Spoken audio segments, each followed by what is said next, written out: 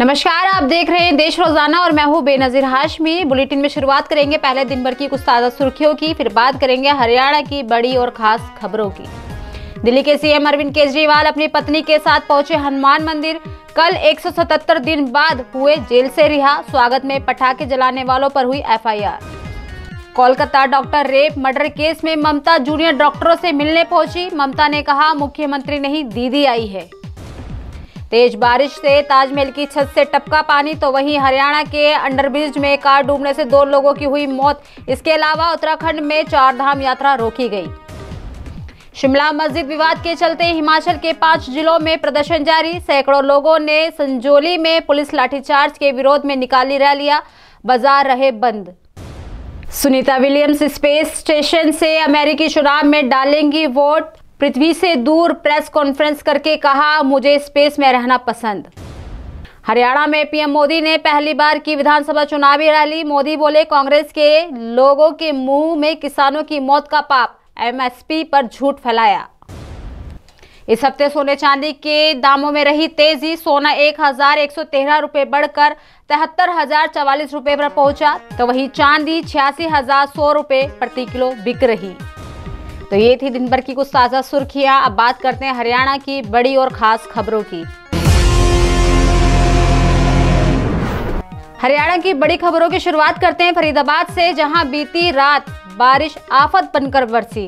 दरअसल तेज बारिश के चलते देर रात ओल्ड फरीदाबाद के रेलवे अंडरब्रिज में पानी भर गया, जिसके कारण गाड़ी में सवार एच बैंक के मैनेजर और कैशियर की डूबने से मौत हो गई। बताया जा रहा है कि कार के लॉक होने के कारण वे समय पर बाहर नहीं निकल पाए, जिसका रात भर रेस्क्यू जारी रहा और सुबह डेड बॉडी पानी से बाहर निकाली गई, जिसको फरीदाबाद नागरिक अस्पताल में पोस्टमार्टम कराने के बाद परिजनों को सौंप दिया गया। हरियाणा के सीएम नायब सैनी चुनाव प्रचार के लिए लाडवा पहुँचे, जहाँ इस दौरान उन्होंने कार्यकर्ताओं को भी आह्वान किया कि वह घर घर जाकर केंद्र व प्रदेश की भाजपा सरकार द्वारा किए गए कार्यों से लोगों को अवगत कराएँ। दरअसल इस दौरान सैनी पूर्व मुख्यमंत्री भूपेंद्र सिंह हुड्डा पर तंज कसते हुए नज़र आए और उन्होंने कहा कि भूपेंद्र हुड्डा ने अपने शासनकाल में किए भ्रष्टाचार के आधार पर वोट मांग रहे हैं। जबकि हम भाजपा सरकार में किए गए कार्यों के बल पर लोगों के बीच में हैं। लोग भ्रष्टाचार को नहीं, बल्कि विकास को तवज्जो देते हुए भाजपा को पूर्ण बहुमत के साथ विजयी बनाएँगे। साथ ही सैनी ने कहा कि हुड्डा कहने लगे हैं कि कांग्रेस की सरकार आ रही है, भाजपा जा रही है। वे लोगों को गुमराह करने की बजाय भाजपा सरकार में हुए कार्यों को भी देखें और तुलना करें कि किसने क्या किया। उन्होंने ये भी कहा कि केंद्र की मोदी सरकार के साथ प्रदेश ने मिलकर इतने कार्य किए हैं कि कोई भी सरकार नहीं कर पाई। अब प्रदेश को और हरियाणा को आगे ले जाना है, जिसके लिए जनता ने फिर से भाजपा की सरकार पूर्ण बहुमत से बनाने का मन बना लिया है। हरियाणा के चुनाव में भाजपा कांग्रेस के बीच सीधा मुकाबला है। वहीं आपको ये भी बता दें कि प्रदेश में पिछले 10 साल से भाजपा की सरकार है। सरकार के खिलाफ का वोट अब तक कांग्रेस के पास जा रहा था। मगर अब कहीं ना कहीं केजरीवाल के बाहर आने से स्थिति बदल सकती है। दरअसल हरियाणा विधानसभा चुनाव की गहमा गहमी के बीच आप नेता व दिल्ली के सीएम केजरीवाल शुक्रवार को जेल से बाहर आ गए हैं। उनके बाहर आने से आम आदमी पार्टी के कार्यकर्ता में खुशी और जोश है। वे अब विधानसभा के चुनाव प्रचार भी करेंगे। एक जानकारी के अनुसार केजरीवाल दर्जन से ज़्यादा रैलियाँ करने वाले हैं। इसमें कांग्रेस को थोड़ा सा नुकसान भी झेलना पड़ सकता है। अरविंद केजरीवाल पूरे हरियाणा में प्रचार करने वाले हैं। इससे भाजपा के खिलाफ पड़ने वाले वोट आपके खाते में आना तय है। पिछले विधानसभा चुनाव में जजपा मज़बूत स्थिति में थी। 2019 के चुनाव में जजपा ने 10 सीटें जीती और 23 विधानसभा सीटें ऐसी थी जहाँ उसने कांग्रेस का खेल बिगाड़ दिया। इसीलिए आपको कमज़ोर नहीं आंका जा सकता। हरियाणा विधानसभा चुनाव से पहले बीजेपी को आज फिर से दो बड़े झटके लग गए हैं। दरअसल पूर्व विधायक सुखविंदर मांडी और जयप्रकाश गुप्ता कांग्रेस में शामिल हो गए।